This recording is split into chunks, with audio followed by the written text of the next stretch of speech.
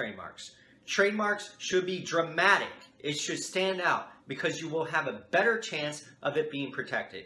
A trademark concerns a sale of goods. A service mark concerns the sale of services. There are not much differences and they are used interchangeably. There is also a certification mark, which identifies the authoritative entity which certifies a particular good. There is also collective membership marks, which is a type of trademark used by members of a collective, association, or other organization to indicate membership and to distinguish the goods and services of members from those of non-members. What is a trademark? Trademarks are symbols. The symbols can be words, for example, word marks, slogans, phrases, logos, for example, design marks such as the NBC peacock symbol, font style such as the Coca-Cola lettering, scents, packaging, sounds such as the MGM lion roar, a series of musical notes, or even a color scheme. Protection is afforded to the source of the good, not the good itself. A trademark represents business reputation, goodwill, and brand identity. Trademark law provides incentive to businesses to invest in the quality of their goods. The language of the Lanham Act, also known as the Trademark Act, the federal law regulating trademarks, states that trademarks include any word, name, symbol, or device, or any combination thereof.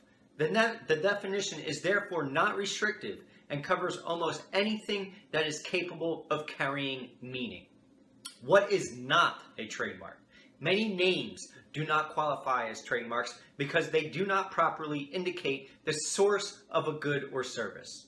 Domain names are not trademarks. The use of a domain name to identify a web address is not a trademark. Moreover, registration of a domain name on an, an accredited registrar does not give you any legal rights. In fact, the registered domain name may be required to be surrendered if it infringes on a trademark.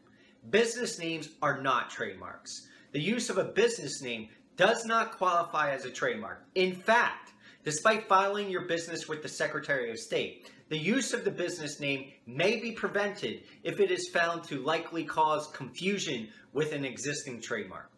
Ornamental designs are not trademarks. A design being used in a purely ornamental or decorative manner is not protected as a trademark. For example, use of a design on the front of a t-shirt has not traditionally been protected as a trademark. However, if the design on the t-shirt is recognized as a mark of another source, such as a television show, then the use may be considered as a trademark. Another example is the Nike swoosh. It depends on how the mark is marketed. Nike does not always depict the mark on the front of the t-shirt, but rather as a logo on the product. Even more, public perception is very important. It is all about how the public perceives the mark. Product features are protected by trade dress. Identifying features of a product are protectable if they do not present an unfair competition advantage.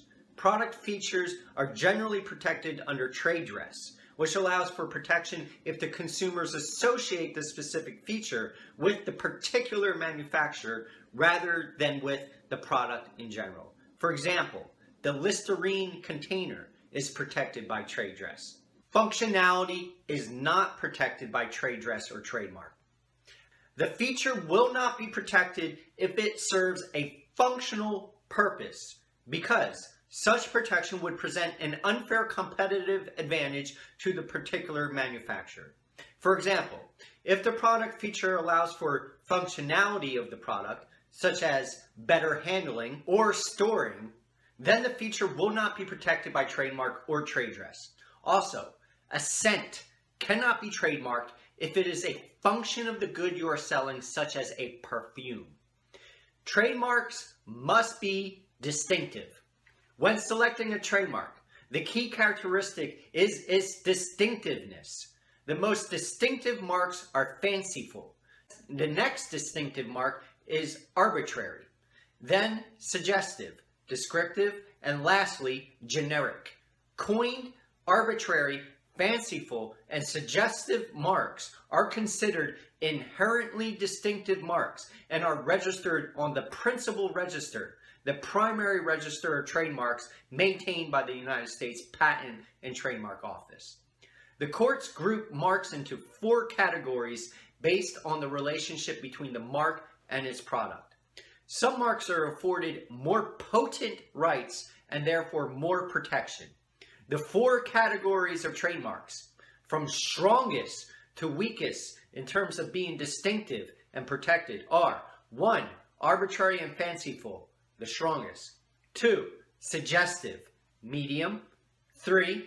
Descriptive, which are weak. And 4. Generic, which have no protection. Arbitrary or fanciful marks. A fanciful mark is an invented word with no dictionary meaning. They consist of coined terms. For example, the marks Exxon, Kodak, Polaroid, Starbucks, Xerox, and Haagen-Dazs. They bear no relationship to their underlying product, which are respectively gasoline, cameras, coffee, copy machines, and ice cream. An arbitrary mark also bears no relationship to its product.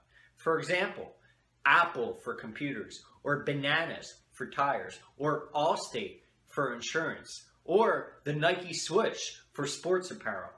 Arbitrary and fanciful marks are inherently distinctive and are given a very high level of protection under trademark law. They are prima facie registrable. Suggestive marks. A suggestive mark refers to a particular characteristic of the underlying product but it does not specifically describe the good. Rather, it is subtle. The consumer must exercise his or her imagination to understand the reference. Suggested marks are considered distinctive and are given protection. For example, Whirlpool washing machines, Coppertone suntan lotion, and Ivory soap. Descriptive marks. Descriptive marks directly describe the product or some important characteristic of the product. For example, a depiction of a television show for a television repair service. Descriptive marks are initially not protectable. Describing the nature or quality of the good is not protectable unless it acquires a secondary meaning. As a practical note, in order to make a descriptive mark distinctive, it is possible to give the mark a distinctive type font and register it as a design logo by submitting a special form mark drawing. Descriptive marks must have secondary meanings to be protected. Secondary meaning is when the public perceives the mark as a trademark rather than its primary meaning. A common example is the mark Holiday Inn. The mark must be thought of as a brand and not as a descriptive word. The public must associate the mark with a particular company and not the product in general.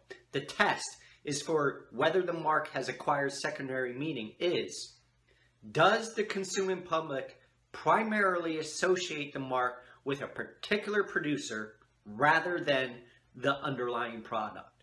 The court will base the determination of secondary meaning on factors such as 1. Amount and manner of advertising, 2 volume of sales. Three, length and manner of the mark's use, generally extensive use in commerce over a five-year period. And four, results of consumer surveys. Where the defendant seeks to justify the use of a common word by the argument that he needs it to describe the particular product, courts have developed a test to determine whether there is an unnecessary use by the defendant.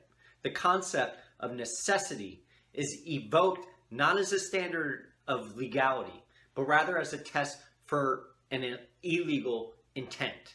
If there is no real necessity for the use of a particular term, because there are others of equal effect and in common use, or if the defendant cannot offer a reasonable explanation for the particular usage, then a strong presumption that an intent to unfairly compete exists.